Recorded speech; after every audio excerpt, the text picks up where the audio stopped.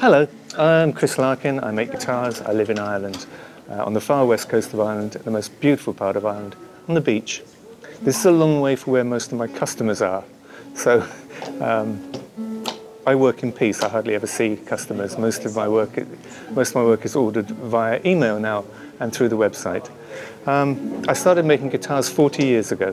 This is my 40th year. I've made over 800 of all types, solid bodies, acoustics, basses, mandolins, EUBs. I'm a sort of a guitar making whore. If you pay me, I'll do anything. And in recent years, I stopped doing fairs. I did fairs for many, many years. I did Frankfurt for 13 years. I did Rotterdam for five years. I did the British Music Fair. I've done fairs all over the place. In 1999, I decided to stop doing fairs. So why am I here at the very wonderful Holy Grail Guitar Show? Because if you get invited to do the Holy Grail Guitar Show, you go.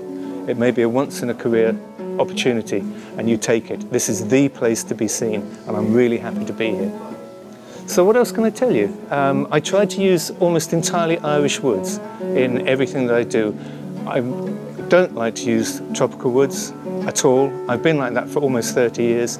I'm a board member of the Leonardo Guitar Research Project, which is a European community-sponsored uh, body which, in which we're trying to persuade customers, players, dealers and factories that they'll be better off using non-tropical woods and the guitars they make would still be just as good, if not better. Use local woods and the benefits are enormous and you're saving the planet.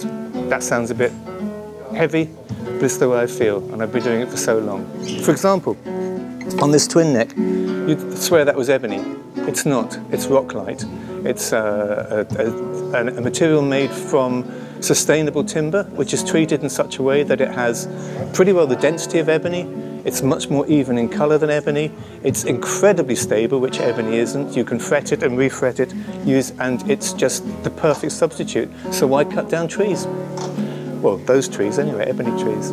So to wrap up, um, you can find out a lot more about me if you're interested on my website, uh, or if you go to Vintage and Rare, um, they will also have stuff about me and you can move on from there. Thanks for listening if you have been and uh, if I meet you sometime or you're in Ireland sometime, make an appointment, call, come and see the workshop, see how we live. You don't have to buy a guitar, it's just we live in a really nice place and you'd love it.